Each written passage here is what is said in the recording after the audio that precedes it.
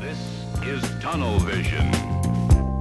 From planet to planet, solar system to solar system. Hi, I'm Tal, and this is the Free Night Hub. We switch you to Earth. Okay. First thing you notice when holding the hub that it's very light. Weighs only about 450 grams. That's about 200 grams less than a typical free coaster.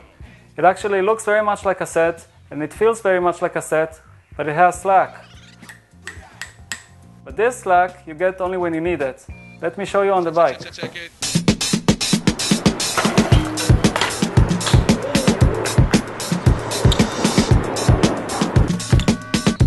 When pedaling forward, sounds like a cassette and feels like a cassette because there is no slack. When you do a 180 and start moving backwards, there is endless coast. What it means that as long as you keep moving backwards, you have maximum slack.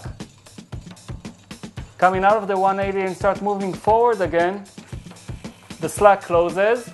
So again, when you pedal, there is no slack.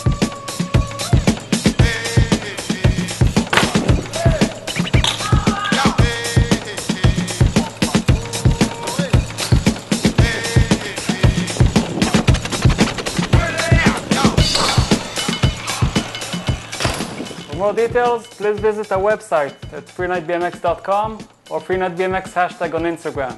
Thank you.